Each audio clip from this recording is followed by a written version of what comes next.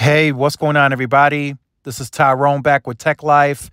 And here we have another great article from Mike over at Light Reading. I'll leave it in the description down below so you guys could check it out. The network evolution continues at T Mobile. They were very aggressive, very upfront about the progress that they would make, and they're heading towards that goal, right? So they had several decommissions of networks to go through. They had to decommission the Sprint LTE network, the Sprint CDMA network. They had to decommission its own HSPA network. So there was a lot of progress and work to go into that. And there's still some actual physical cell sites from Sprint from Sprint that they that they're gonna ha- that they're going to have to continue to decommission as these next few years goes on. And that's actually physically going to the cell site and removing the Sprint equipment, rack, BBU units, all that included. They've already moved and progressed th- towards some of that. I've seen it here, but there's still quite a few sites out there that they're going to have to decommission, meaning completely rip off. So this article is about the next step on the on the network evolution, which is 2G. So 2G is going to be shut off April in 2024. That's going to be the last month that or the last time that 2G will be be around is going to it's going to last from now until April 2024. Now, what does this mean? You know, a lot of people are a bit confused. Why are they shutting off 2G? What about IoT devices? They're just going to give the uh, the IoT user to transition to an LTE device, right? Whatever they need to do, upgrade. They need to go to two. They need to go to LTE because that's the last fallback network that T-Mobile is going to leave running, right? They already shut CDMA off. They they already shut off uh, HSPA. Sprint's LTE network is gonna is shut off now. So the last piece to this puzzle is the 2G network.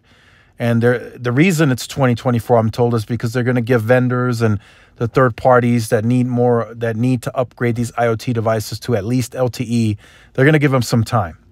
So I think I mentioned this in a, in a previous video as well, but by the end of this year, a lot of that LTE spectrum is going to be allocated to 5G, right? All of PCS is going to 5G.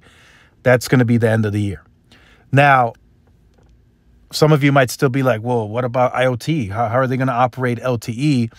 They're going to leave a very, very thin slice, I'm told. And I've said this before. So in markets that have band 12, they're going to leave that 5 megahertz on LTE, right? For fallback in case the the, the 5G coverage doesn't re- reach or or for for the IoT devices, they're going to leave that. And then in markets where band 12 doesn't exist, I'm told, they're going to leave five megahertz of AWS on LTE to to keep the network, the LTE network up and running for IoT devices. And then hopefully in the future, those IoT devices will eventually transition over to 5G. Now, T-Mobile, of course, is the most aggressive on 5G, everything 5G, right? They gotta, they gotta, they gotta get the standalone core going. They gotta get voice over NR going. They want to dedicate more spectrum. They want to do aggregation. They want to get all that going on 5G.